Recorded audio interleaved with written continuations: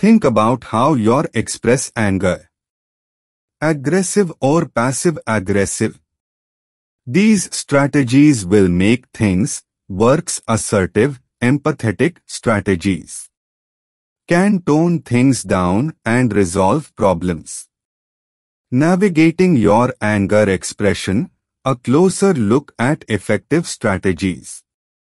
Let's delve into the crucial concept of how you express anger. It's important to understand that the way you communicate your anger can greatly influence the outcomes of a situation.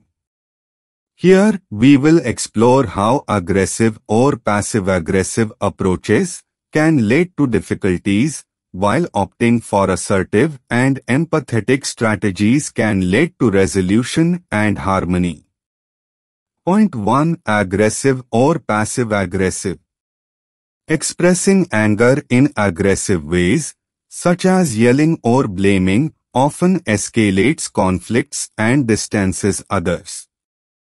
On the other hand, passive-aggressive tactics, like sarcasm or avoidance, can complicate matters and hinder effective communication. Point 2. Assertive and empathetic. Embracing an assertive approach means openly and confidently expressing your feelings while respecting the feelings of others. Empathetic strategies involve understanding the emotions of all parties involved and showing a willingness to find common ground. We just now covered two pointers. Now let's understand the impact on outcomes.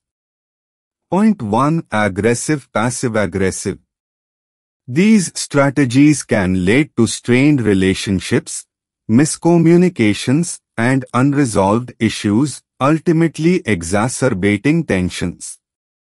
Point 2. Assertive empathetic.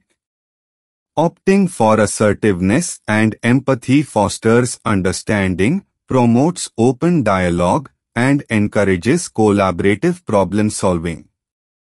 We understand the two major topic now let's get know the benefits of positive expression.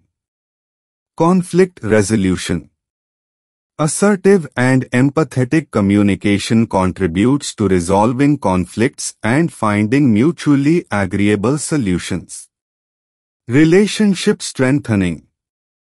By communicating assertively and empathetically, you create an atmosphere of trust and respect, nurturing healthier relationships.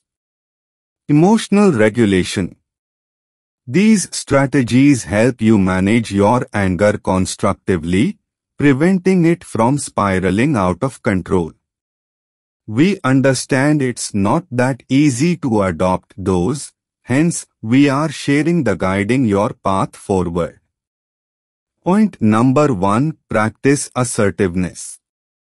Practice expressing your feelings directly and confidently without belittling or disregarding others. Point number 2. Cultivate empathy. Put yourself in others' shoes to understand their viewpoints and emotions, facilitating more empathetic conversations. Incorporating these insights into your interactions can lead to more harmonious relationships and effective conflict resolution. Remember, choosing how you express your anger is a powerful tool in shaping the outcomes of your interactions. Thanks for joining this Embracing Transformative Strategies.